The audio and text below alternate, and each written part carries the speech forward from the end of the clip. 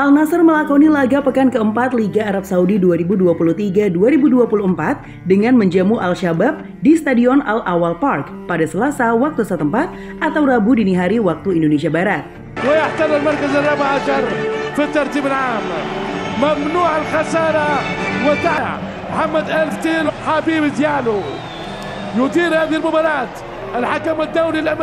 Demi meraih kemenangan kedua mereka pada musim ini, Al Nasser bermain dengan kekuatan penuh sejak menit pertama. Pelatih Luis Castro menurunkan para pemain terbaiknya demi meraup tiga poin di kandang sendiri. الشباب على يسار الشاشة بألوان البيضاء الليث الأبيض أمام ماني ويعود بامتياز Al Nasser mampu mendominasi jalannya pertandingan dengan penguasaan bola mencapai 54,7 persen. Selain itu, klub berjuluk Faris Naj itu juga mampu melepaskan 16 tembakan dengan 10 diantaranya mengarah tepat ke gawang Al-Shabaab. Brozovic! Brozovic! التصويب والحارس طويلة خطيرة للغنام Sejak pertandingan baru saja dimulai, Al Nasser langsung tampil menyerang dengan menekan lini belakang Al Shabab. Hasilnya pun langsung terlihat saat Al Nasser berhasil mendapatkan hadiah penalti pada menit ke-11. Brozovic غنم المطالبة بلمسة يقول لا ماذا يقول سيذهب إلى الفار سيذهب فتح ويأتي ضربة Salah satu pemain bertahan Al-Shabaab ketahuan melakukan handsball di dalam kotak penalti saat mengantisipasi umpan silang dari gelandang Al Nasser Otavio. Setelah dicek ulang melalui video asisten referee atau VAR, wasit Ismail Elfat pun memberikan hadiah penalti kepada tuan rumah. Cristiano Ronaldo mengambil peran sebagai eksekutor dan berhasil melakukan tugasnya dengan baik pada menit ke-13. Lesakan Ronaldo mengarah ke sisi kiri gawang kiper Kim Senggu yang salah menebak arah bola. يتقدم Ronaldo! جول جول جول جول العالمي عالم لوحده رونالدو نجم السعودية بأقدامه القوية أصفر اللون من أجمل ما يكون tidak butuh waktu lama bagi Ronaldo untuk mencetak brace dalam pertandingan tersebut. Pada menit ke-18, Ronaldo berhasil menanduk bola hasil umpan dari sepak pojok Marcelo Brozovic ke gawang Kim Seng-gyu. Bola tandukan CR7 mengarah ke pojok kanan atas gawang Al-Shabaab.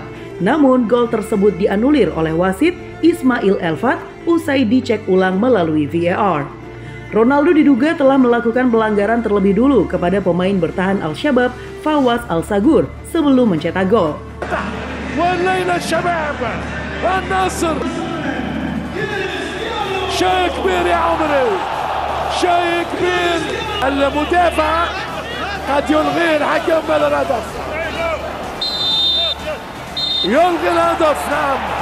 Kapten timnas Portugal itu pun tampak marah dan melakukan protes terhadap keputusan pengadil lapangan.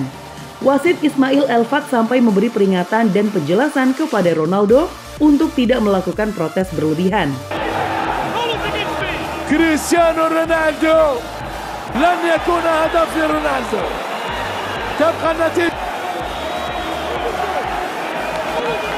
Tim asuhan Luis Castro itu pun kembali mendapatkan hadiah penalti untuk kedua kalinya. Kali ini Al Nasser mendapat hadiah penalti setelah Gustavo Cuellar mendorong Ronaldo di dalam kotak terlarang. CR7 pun kembali mengambil peran sebagai eksekutor dan berhasil menjalankan tugasnya dengan baik. Ronaldo!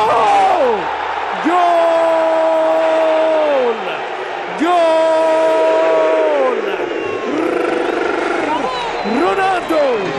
يفجر الشباك هو القناص هو مرعب كل المدافعين وكل الحراس ثنائية رونالدو في درب العاصمة Tiga menit berselang, Al Nasser berhasil memperlebar jarak dengan Al Shabab lewat gol Sadio Mane.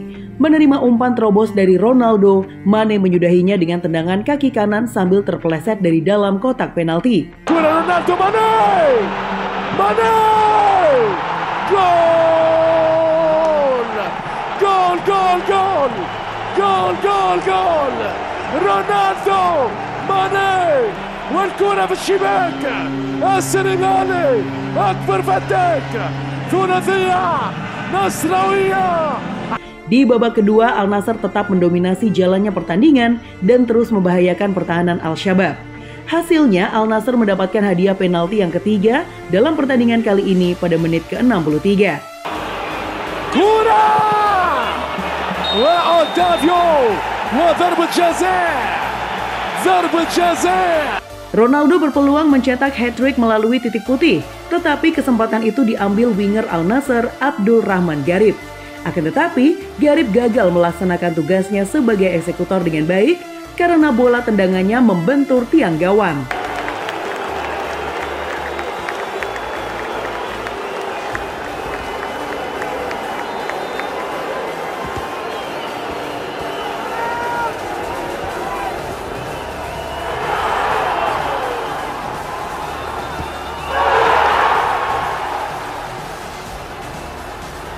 Alhasil, Ronaldo pun terlihat kecewa melihat kelakuan rekan setimnya tersebut.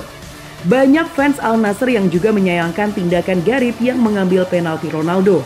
Padahal Ronaldo bisa saja hat-trick jika dirinya yang mengambil penalti.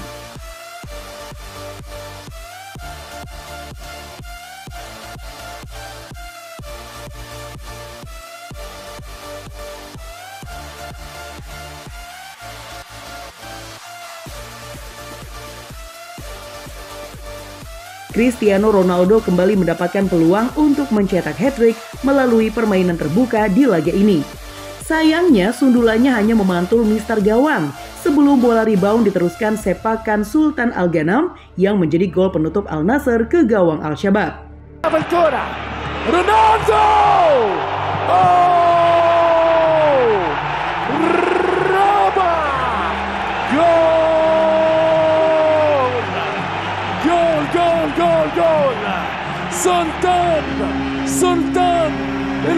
الغنام بالغنيمة هداف الهدافين قناص كل القناصين مرعب الحراس.